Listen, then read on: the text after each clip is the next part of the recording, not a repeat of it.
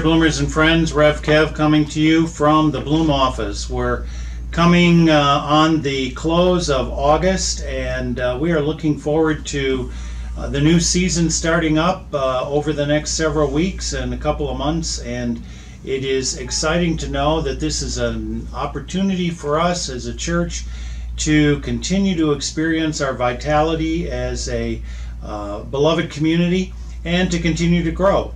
You know, almost every Sunday this summer, we have been anywhere from 10 to 20 uh, persons more on Sunday morning than any previous summer Sunday. Um, it has been remarkable to have uh, Sundays where there have been 70 plus, even 80 plus of us gathered on Sunday morning together uh, for the worship of God and uh, the care and nurture of, of one another. And so that's been very exciting to see how Bloom has experienced some growth. And one of the ways that we uh, know that we're experiencing that is by that sort of turnout. We also know that there's vitality and love in the times we share together. The Hot August Night uh, fundraiser uh, on uh, August 18th was a, a wonderful evening. Um, and, and part of also what's so wonderful about it is how uh, uh, singers from the community want to participate and support Bloom in this way by providing our entertainment. Um, Ken and David uh, and, and their helpers volunteer to uh, do all of the work for the for the uh, serving and and uh, uh, creating, and then our own crews serve the food and so forth to provide a very um, exciting and you know wonderful hot August night. And what was so great about this one is it was the coolest hot August night of uh, any that we've had so far. this being the fifth one, and so it was it was just a really delightful experience, and we're thankful to Jean Dunham for her leadership on that and everybody else who helped out.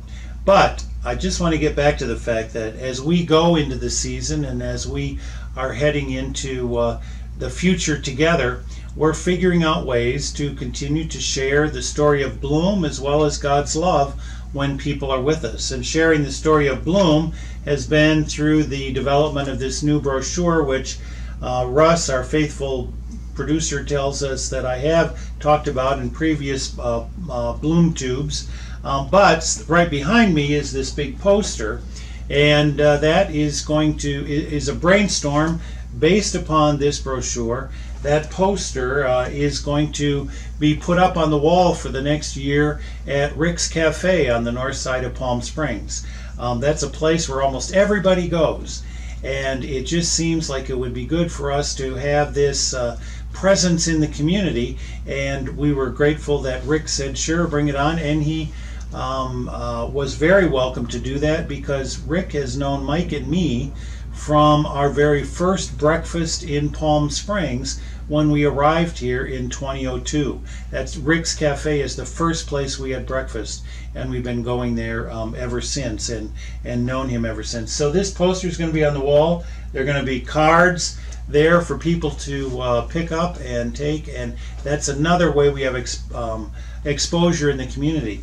And one other innovative way that's coming up, we have just inked a deal, as they say in Hollywood, to be the sponsor of one of the Friday night showings of one of the films in the Cinema Diverse Gay and Lesbian Film Festival here in Palm Springs. This is something that we looked into last year, something that we put in the budget for this year, and we just were able to make the selection and we're going to have the sponsorship of a film. You're going to learn more about this in upcoming Bloom Notes. Um, and that's another way that we're going to be reaching out into the community in order to share God's love, share our story, and try to uh, continue to develop our congregation to be a uh, missional, beloved community uh, in Palm Springs, a place where people want to be part of a um, uh, mainline liberal Protestant church such as Bloom is. Um, that's part of our plans. And you know, you're part of those plans as well. So we hope you'll be with us whenever you can.